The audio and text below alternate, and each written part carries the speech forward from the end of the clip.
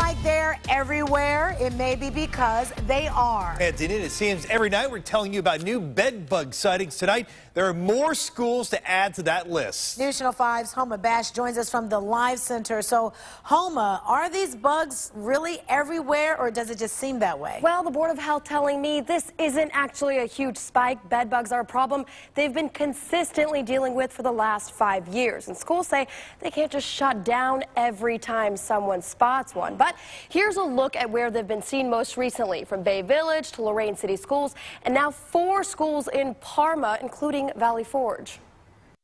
Creepy, crawly, kind of makes you itch just talking about them. It's not a matter of if people are going to be encountering bed bugs, it's a matter of when. The Job and Family Services Complex in Elyria shut down today for a bed bug infestation while extermination crews come in and do a full sweep. One bed bug found in a locker at Bay Village High School. Three incidents reported in Lorain schools this week. Not infestations there, just incidents. And by incidents, I mean there was one bed bug that was located in a classroom or on a child child, and we responded immediately according to the protocol provided to us by the health department. It comes a week after problems in Parma, bed bugs found in three different schools. Now, for the most part, schools aren't shutting their doors while they sanitize and treat, but parents can keep their kids at home if they want. This is a situation that's not going to be going away in Ohio. You can't just keep your child home every time there's going to be a situation like this. It's probably a bed bug. And the pesky parasite's such a problem now, a potential sighting even interrupting an East Cleveland City Council meeting.